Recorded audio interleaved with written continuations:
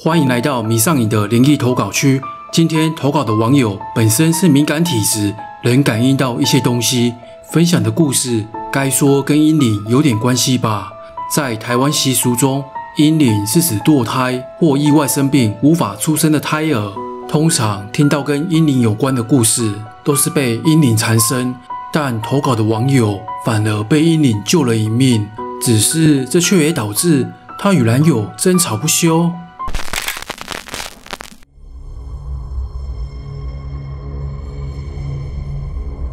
八年前，苏迪勒台风来临前的夜晚，我正在某家超市担任收银员。虽然台风还没入侵台湾，但还是带来了狂风暴雨。我看着窗外急速掠过的暴雨，心中不安的预感不断蔓延，担心下班骑机车会有危险，就打电话给男友，叫他等一下下班时开车来载我。当我放下心来时，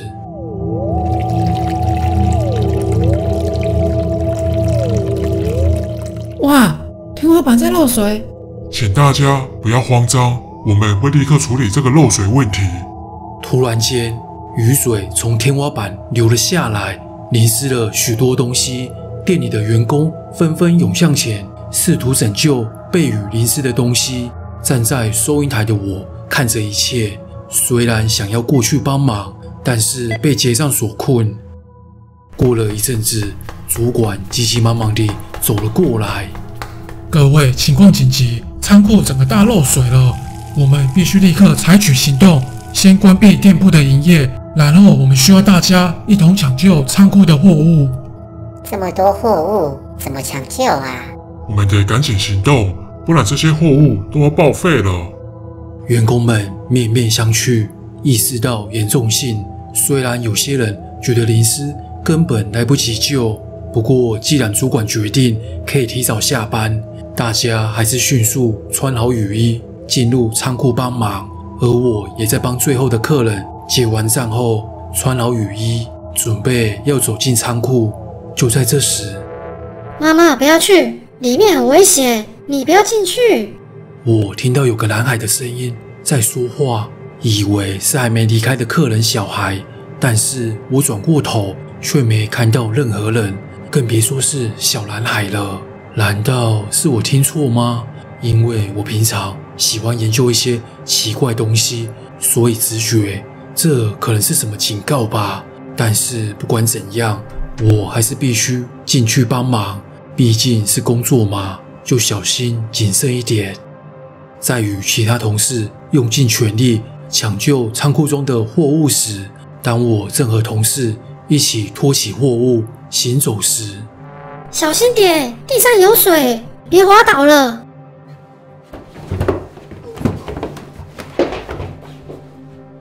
天哪，你没事吧？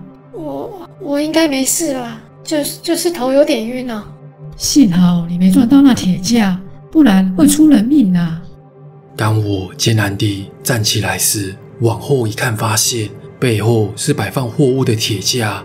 如果我刚刚没听到声音，放慢脚步，可能就直接撞到铁架突出的部分了。想想那结局，真的令人不寒而栗。幸好我只是滑倒，头撞到地板，有些晕而已。终于，我们成功将大部分货物搬离漏水的地方，避免了更大的损失。主管也宣布大家可以下班了，并且表示明天台风会入侵台湾，所以暂停营业。上班时间在等候通知。一得知明天不用上班，大家兴高采烈地欢呼起来，而我也开心地向来载我回家的男友分享这个好消息。我们去超商买点零食，明天不用上班，晚上可以来好好看电影。好啊，听起来不错。那我要买海泥根跟毛豆，你可不能再禁止我喝酒了诶。之后，我们到超商逛着冷冻食品区和啤酒柜台，挑选好心仪的东西后结账。当我们走回到车上，我就说：“等一下，我想看柯南的电影。”醒来时，我发现自己躺在医院的病床上，男友就在旁边。我问他发生了什么事？你刚刚在车上说了一些奇怪的话，然后突然失去意识。我本来以为你只是睡着了，结果送到家门口时，你还是没有醒来。我担心出了什么事，就摸了一下你的头，发现你摔倒撞到的地方肿起来，就赶紧送你到医院。之后，医生对我进行了电脑断层检查，结果显示我有脑挫伤，目前需要对血压进行控制，治疗凝血功能的问题，以避免再次出血。好险，脑出血的情况并不严重，目前就先住家务病房观察。三天之后，医生再次检查，确认脑部无出血后，就转到普通病房了。